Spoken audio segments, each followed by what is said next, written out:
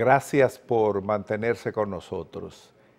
Ustedes saben, ayer por lo menos leíamos lo que decía eh, Danilo Medina con relación al financiamiento de su campaña por parte de Odebrecht, que salió a relucir en Brasil en una declaración que hizo uno de los imputados.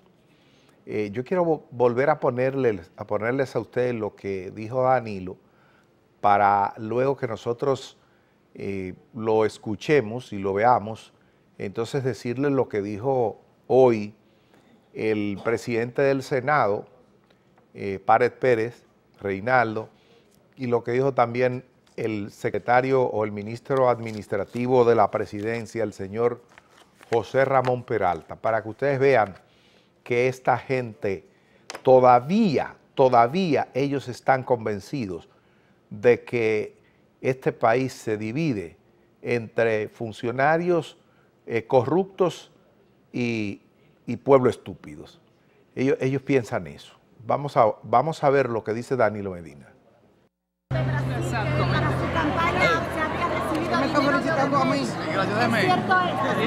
Y que lo había recibido Joao Santana, supuestamente esos recursos para apoyar su campaña electoral, tanto en el 2012 como en el 2016. ¿Es cierto eso?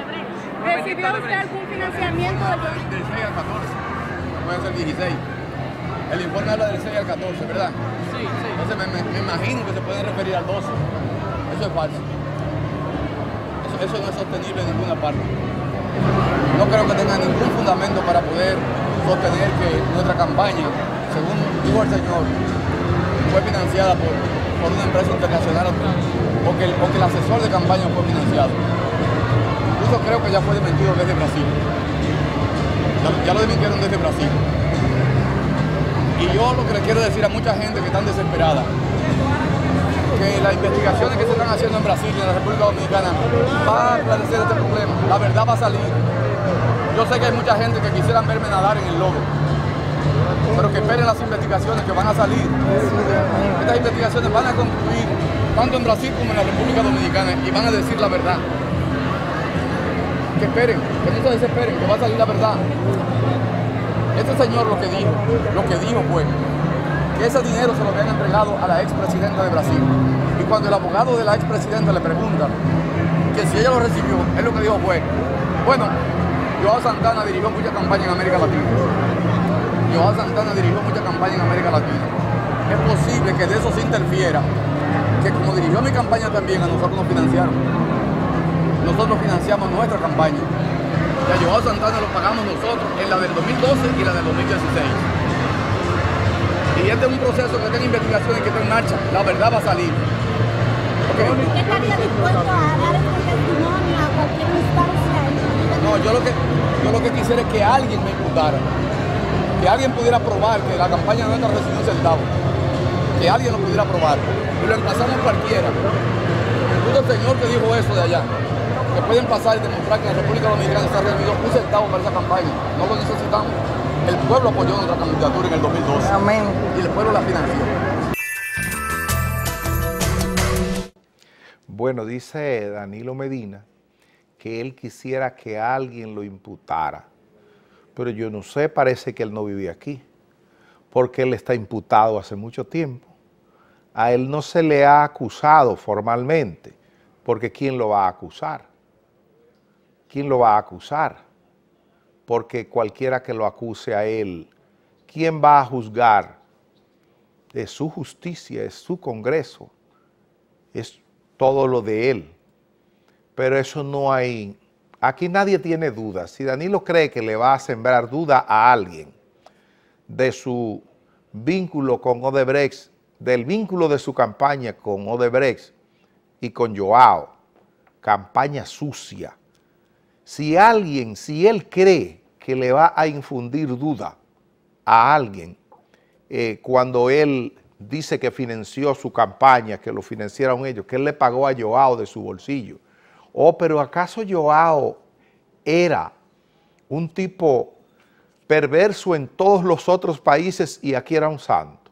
¿O acaso ese señor que ustedes ven ahí con Danilo Medina, que el señor Ángel Rondón que el propio procurador general de la República dijo que era el hombre del maletín, el que sobornaba a funcionarios para que les dieran a Odebrecht las obras a precio sobrevaluado, ¿verdad? ¿Acaso eso es por amor al arte?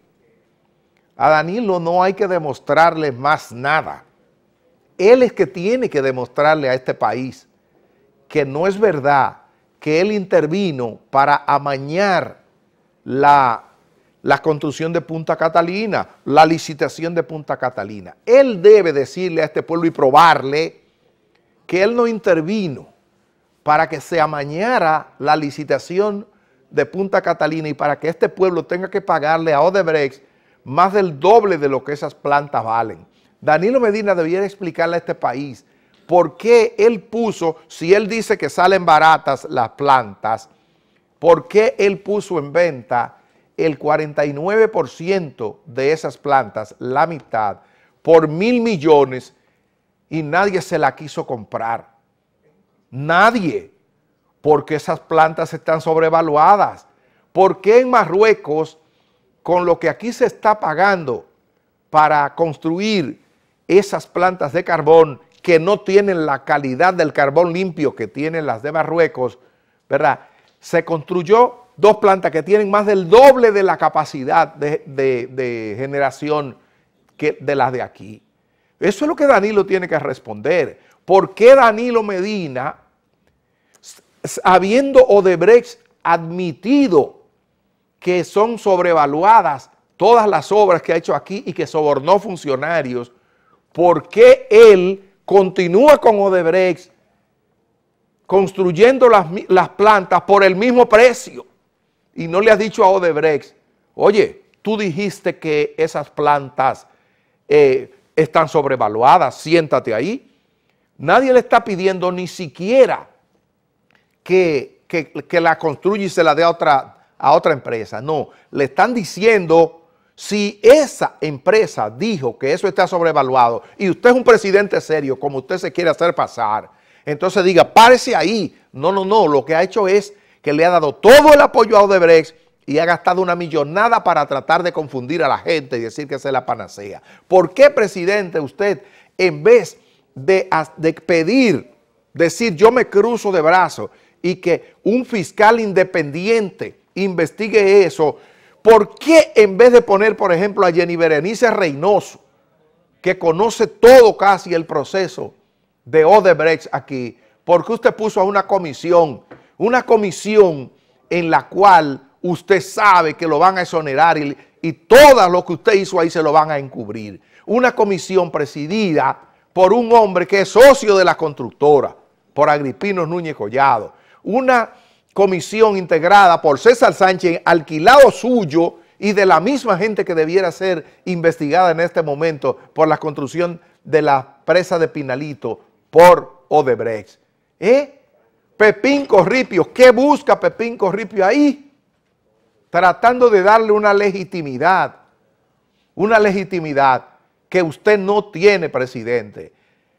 Esa legitimidad usted no lo tiene. Sobre lo de navegar en el lodo, señor, Hace mucho tiempo que usted está navegando en el lodo y no se da cuenta. Usted está tan acostumbrado a navegar en el lodo que no se da cuenta el lodazal en el que está navegando.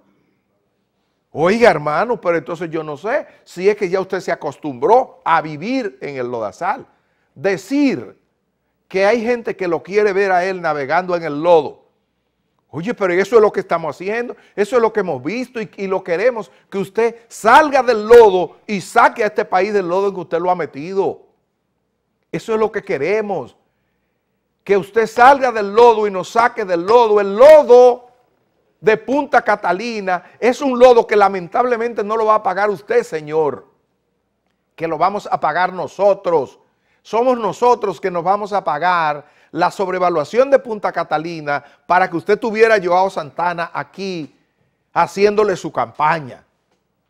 Somos nosotros y no nos va a confundir. Usted no nos va a confundir.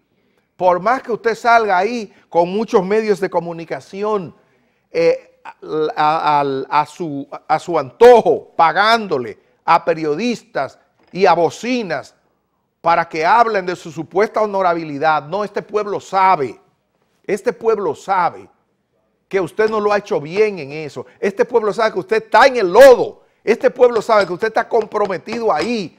Y es a usted que le toca probarle a este país, probarle y demostrarle a este país. A usted le toca demostrarle a este país o explicarle a este país o convencer a este país por qué usted nos puso a pagar a pagar 2.040 millones por, por, esas dos plantas que no valen la mitad, que no valen mil.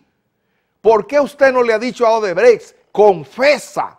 Porque Odebrecht ya es confesa, lo dijo, estoy haciendo obras sobrevaluadas en República Dominicana porque soborné con 92 millones de dólares a funcionarios. ¿Por qué usted no le ha dicho? Y diga, explíquele eso al pueblo. Párese Odebrecht, párese y vamos a rediscutir el precio de eso. Usted no se dio cuenta que cuando puso en venta el 50% para que el mercado privado de aquí lo comprara, nadie para allá ni siquiera miró. ¿Quién le va a pagar a usted una cuestión sobrevaluada como, como pasó ahí? ¿O acaso usted cree que a esta gente está en la misma condición suya que tenía el, tenía la gente de Odebrecht financiándole una campaña por Joao Santana. Eso no se lo cree nadie. Y que, que yo quiero que alguien me impute. Pero usted está imputado. La sociedad lo imputa. La sociedad completa decente de este país lo imputa a usted. Y oigan esta payasada. El presidente del Senado, que es uno de los que debiera estar siendo investigado por eso, porque ahí fue que se conoció ese proyecto y se aprobó esa barbaridad de contrato, Reinaldo Pérez ha dado una declaración ayer que es una vergüenza. Todos esos son imputados, todos. Reinaldo ha dicho ayer de que, que si hay una persona que, tiene, que no tiene de qué arrepentirse aquí, es Danilo Medina porque ha hecho la cosa bien hecha y dice que rechazan, oye, lo que él considera una aventura a la gente que se expresa y lo llaman aventureros a los que han señalado a Danilo como beneficiario de, de, la campaña del financiamiento de Odebrecht. ¿Y, y, con, y, de dónde fue que pagó Danilo Medina a Joao? ¿De dónde lo pagó? Y el otro funcionario, payaso, que vive mintiendo siempre a este país y que él cree que hay que ver cuando se vaya este gobierno y cuando ellos se vayan de ahí, porque ellos tienen que irse en un momento que el pueblo lo tiene que cambiar. Peralta, un hombre que miente sin, sin ningún tipo de miramiento, miente descaradamente. Ese señor ha dicho, oiga, pero volvamos a Reinaldo antes de. Reinaldo ha dicho, oigan lo que ha dicho Reinaldo. Le preguntaron, pero venga acá, ¿por qué no se hace un juicio político al presidente?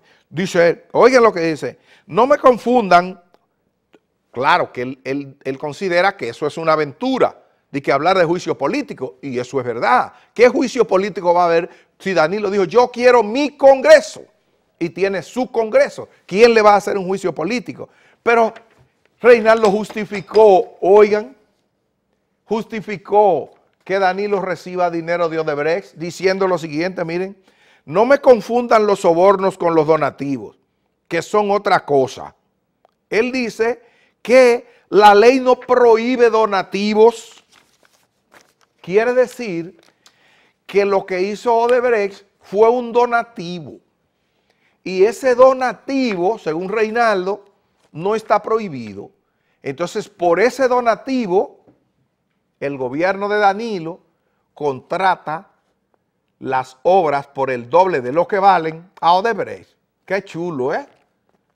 Así sí es bueno y que los donativos no están prohibidos. No van a interpelar a Danilo porque eso fue un donativo y los donativos no están prohibidos. ¿Qué donativo, eh?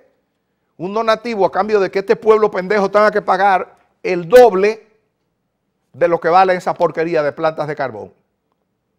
Y lo del otro, lo de Peralta, oigan este chin, Peralta dice que todo aquel que tenga prueba contra Danilo Medina, que la lleven, y que es una tontería, oigan, oigan esto, que es una tontería, dice él, eh, pedir una interpelación. Claro que es una tontería. Con esa porquería de Congreso, con esa podredumbre, con esa posilga de Congreso que hay aquí. Claro que es una, una tontería, señor Peralta. Vamos a la pausa.